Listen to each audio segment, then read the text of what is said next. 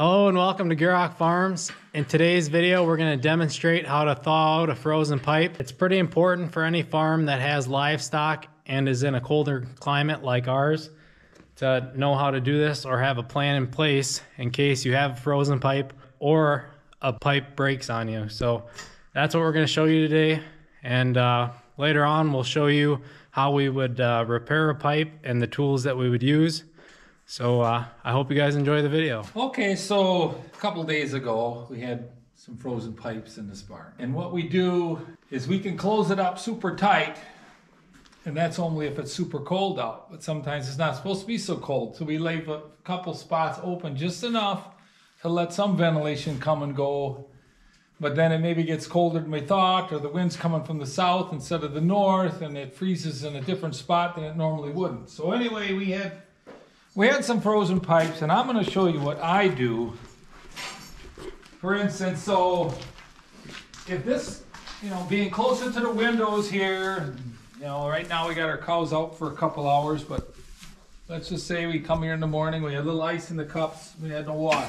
I mean, even if we shut everything up tight, it could take almost all day for that to thaw by itself, if it even would. So, well, let's say we're gonna thaw out this here pipe here.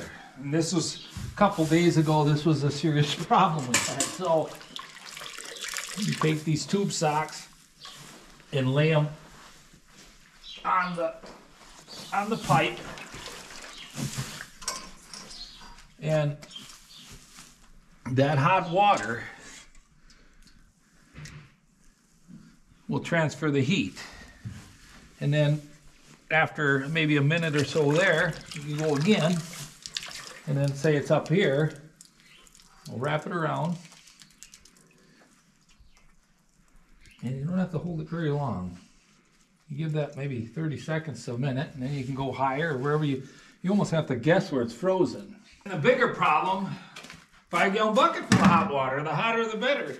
You know, an old, uh, well, like this is an old sweatshirt. Now you got yourself maybe six feet an old bat towel. It doesn't really matter what you use, but even an old sweater, anything that can soak up a lot of water, and you can instantly come and hold it up in here and just wrap it around, and that water is oozing out of that, draining down onto your pipe. And even like in your valve, put a little hot water in there. So we've tried it once with a hair dryer when we were kids, and that just doesn't work. Your heat doesn't stay where it belongs. And then like these socks, I keep these near the barn. I got a place in the milk house next to the the cooler where I got this an old piece of wire hanging. Basically a makeshift clothesline. I'll hang these up there, they'll dry out. Next day, put them together, you know, turn them back inside out, throw them up on a shelf, they're ready to go.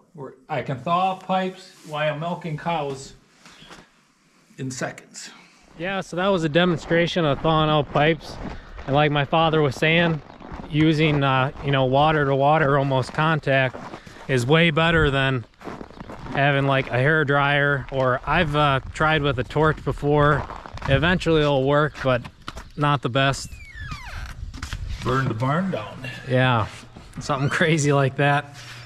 You've heard of people using like a welder or something? Well, like a welder, for instance, when they had uh, steel pipes going between the buildings and it hook on an arc welder. I've never tried it. I wouldn't even know how exactly you'd want to do that. I don't think it doesn't sound very safe, but let's face it, who's going to go get, you know, plastic pipes underground and then you got other risks involved, so. Yeah. So now we're going to show you um, how we would repair one of our pipes or um, you know, our valves or something like that. So we're to show you a little bit of the plumbing that we would do if something were to break. So this is where I keep all our plumbing and try to be very organized because when we need it, it's it's just that. You got cattle without water, you need it now and you got to know where it is. And if I'm away, the people that are taking care of this place know where my stuff is because it's always together. I always try to keep an extra cup on hand. These ain't exactly the ones I use. And I think what happened, I've had this cup for a while, but we couldn't find the ones I use. But let's face it, even the ones you're not so crazy about are still better than no cup if something goes wrong. So we have that and plenty of parts. That's mostly half inch and three quarters. Here I got more of the larger parts, more of my inch. I when I when I do plumbing and I find that I'm digging like like these, I had to pick up a few here just a week ago. But when you have trouble finding what you need, you always make a note. I do, and then because you just forget, and the next time you got problems, you got to run to town, and you should be just fixing and getting done. And then I got some short pipes. Anything that looks like it's still, you know, could make something. And then there's some longer pipe stuff. And here I got a piece of three quarter, and it usually comes in 10 foots, and I think 21 feet. And I need to pick up some inch, so I usually have inch and three quarter. That's what we have in our barn. I know there's other stuff people use. They got the flexible lines and PVC. This is what my barn started with. This is the program we're in, but um, we're set up for it, so it works. And then I have all my valve parts. And some of those are used parts in there, and there's a few new pieces in there too. Again, sometimes it's something real simple like that. So they're all together so we can find them. Well, the tools, obviously, two pipe wrenches, and this smaller one a lot of times to get the valve out. And this is another thing. Anytime I got to do work in the barn, I got this just simple wooden toolbox. And I'll start throwing in everything I need. Vice grip crescent wrench, my pipe wrenches, pipe tape, you know, whatever comes to mind, it's all in there so don't get lost in the feed or the hay or in the manger because usually working someplace where it's not so pretty. We'll talk about some of the parts we use. So this is inch pipe. There's black pipe, which is a lot more expensive. It's very hard. to use it for gas lines. And I've got a few places where we just bought pieces of black pipe. It, it takes some more of a beating before it would get broke. It don't rust as fast neither. Otherwise, it's regular galvanized pipe. These are some used pieces. We always try to have 10 foot chunks on hand. We have some of this type of stuff on hand too, because you can't thread that here. I don't have a threader that can make them small like that, so I'll have various lengths of those we would buy. You got your connectors, your T's. This is all, most of our line in the barn is three quarter, some of it's an inch. And this is what they call a union. Now you want these every so often in the barn, between every other cup, we'll put one of these in. And that's a way so if, so if the line between this cup breaks, we're able to undo this and just take out one section instead of starting all the way from the end. You could end up taking apart half of your system to get to it. Or you have to cut. Or if you'd have to cut it, you'd have to bring it to the shop, rethread it, put one of these unions in. So this is an inch. So again, I keep several of these around. You got your three quarter inch, your half inch, which is actually the black pipe ones again.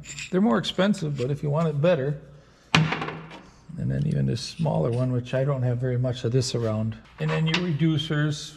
In plumbing, there's like 10 different ways you can do the same. You, you, you, can make it the same way using all sorts of different fittings to reduce it or to enlarge it. Now the drinking cup, I don't have a new one and I've been having trouble finding these. These are the ones we always use um, where you can buy parts and it's kind of interesting. These parts end up being almost as expensive as the whole cup. Basically, your heart of your cup is your valve area in your tongue. And sometimes, see there, that's wear from the cowl and that pin coming against it here.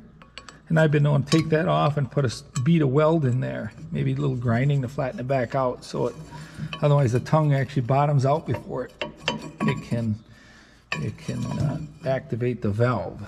But anyway, this are really simple, and this is all brass. These are the best I find, and the only place we find rust or something interfering with the valve is right there on the end of that rubber thing. And you can take that out with a crescent wrench or a small pipe wrench. And uh, I don't know, they just happen to be the ones that I've gotten used to and they seem to hold up. Now here's one that's worn really bad. You can see how flat the pin is. Um, the spring usually is always fine. And even the O-ring usually is pretty fine. And sometimes we'll have where this hole here will end up wearing really bad.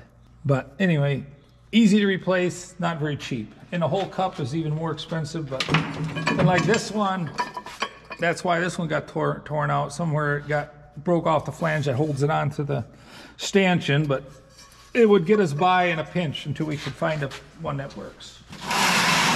Now this is a very expensive kit I got.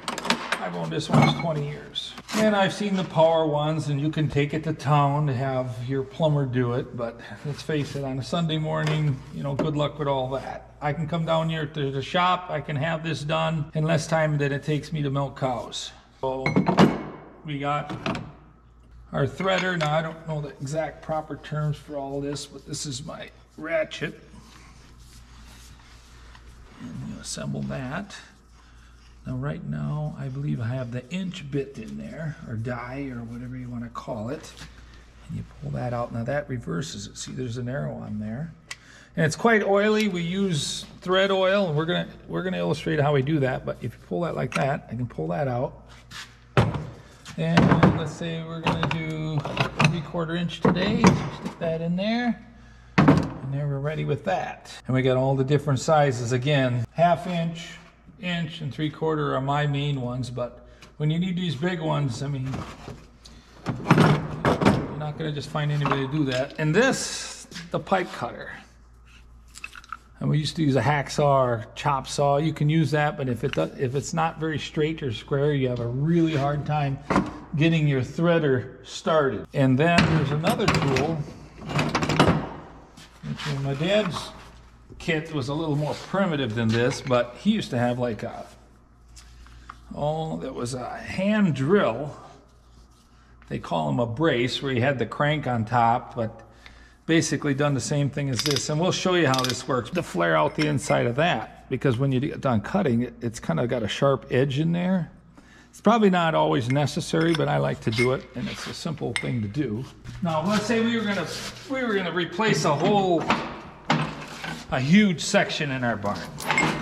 You know, you maybe gonna redo it. You could bolt this down to some heavy beam in the barn someplace at a good level. So you actually make, this is actually a makeshift vise.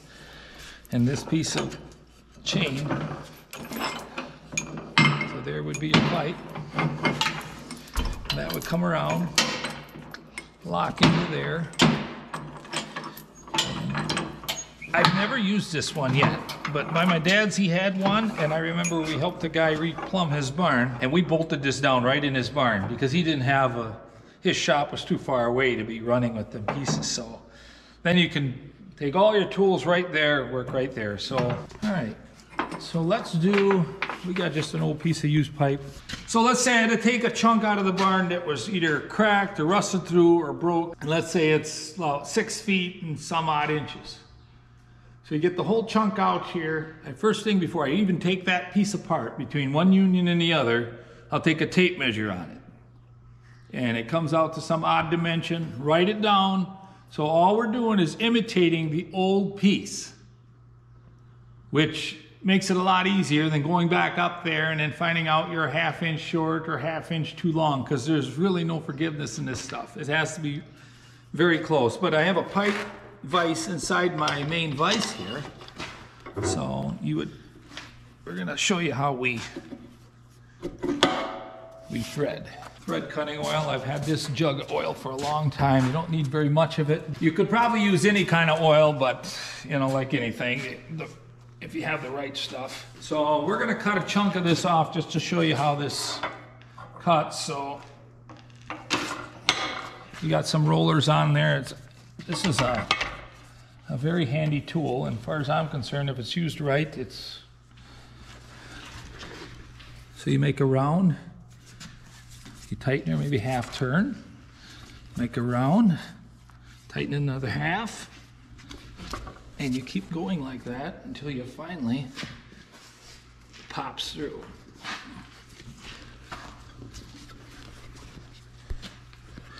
And that way you can get this thing cut exactly where you want it. And, and there you are. But now see how it leaves that little sharp edge in there. So it basically pinches through. And I've been using this guy for 10 years and it looks like new yet. So now you could use a file in here or maybe don't even do anything, but I like to do this. And this is designed for, I mean, whatever size. Looks to me like it goes up to maybe two inch. And there's a ratchet in that, and it kind of polishes that out. Now you can see on the floor here where I fixed the pipe three, four days ago. I was threading a bunch of stuff we still hadn't cleaned up from the last time, that's all those filings. Now when I get all done, before I take this, this chunk of pipe up and put it into my barn, sometimes it's a good used piece, even a new piece, you get these filings in there, pieces of rust in there, I'll just try to run water through it to flush it out before I put it into the line. Simply because every time we fix water pipes or cups or anything, a piece of rust breaks off, goes down further, wherever, and plugs another valve. And it might happen overnight and you flood your whole barn. So you want to be sure you get all that out of there before you put it together. Sometimes you got to take valves apart after the fact and to flush the line, so to speak. And you always want to do it in the morning hours if you have the choice, so then by evening you know you're good the cows have been drinking out of those lines and they, your foreign stuff in the pipe is flushed out. But we've had it happen. We've learned from experience. So anyway, we're gonna put that on there like that. We got our threader. We gotta make sure we're going the right way. Just get it started. A little pressure on it. And this is probably where it really and then, and I always use the oil because I think my threader will last virtually forever if we, no different than any other blade. If you keep it clean and oiled, it's gonna, it's gonna cut and it's gonna last because these are kind of expensive tools.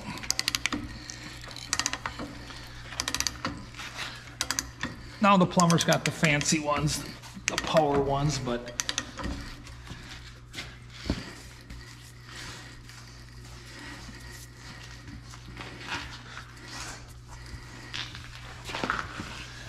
In here, see I'm just about to the end of my thread and I usually stop someplace in there.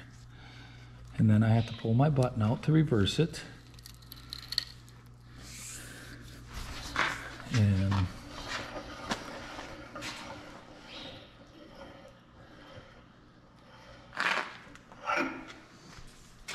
and there we are. Now you see in there, there's some there's a little piece of something that fell in there, but there's our fresh thread. And then that's all my pipe tape. And I got them on top of screw because what happens is the when the doors are open and the wind's blowing, little things like this are so light they end up flying off. And so I put them on a screw and I know where they always are. Kind of thick and gooey and it's got a funny smell to it. If anybody knows the smell, they'll know you've been working with plumbing when they smell that on you, but a little messy, but I like to use tape. But not saying there's anything wrong with this. There's different types of this tape. You got your different widths, and then you got your heavier tapes too. Like I think this is some heavier stuff. Depends on what you're doing, how, how aggressive your thread is. This is another thing for a beginner that you can screw up. So you always want to put your tape on the same way you would turn the pipe on or your fitting on. Because if you don't, it just undoes itself. And I maybe go a round or two. I mean, we don't have to get too carried away. We got really nice clean thread there. Let's see, we're gonna put this this T on. So that would be, for instance, where my cup would come up through. And here I only need one pipe wrench because my vise is the rest. Now you can see how working in the shop is gonna be so much better than if I had to do this all and put it all together like this in the barn. And you gotta have more help to hold things down. So I try to imitate all the pieces that are the problem or potential problems. I've had them where there's just a slow leak. It's just wet around that spot already for a few days. Well, it ain't gonna get better, it's only gonna get worse. One day you'll come there and water will be spraying out. And then you got a big mess besides. So make time, get it fixed. Not super tight, but good and snug. We know this is kind of old school plumbing. I've never went to any plumber school or anything, so there may be other techniques to this that we're not totally aware of, but um, we've been doing this for a long time, and it works. You know, it, it keeps us going. So really, when it comes down to it, it doesn't pay to take shortcuts. It just doesn't.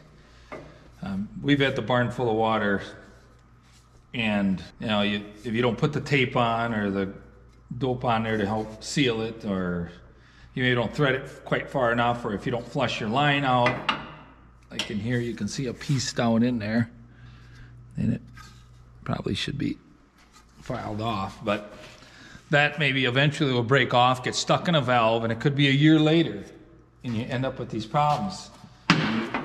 We, we learn from experience, you know, so keeping a few parts on hand, and this stuff's very inexpensive.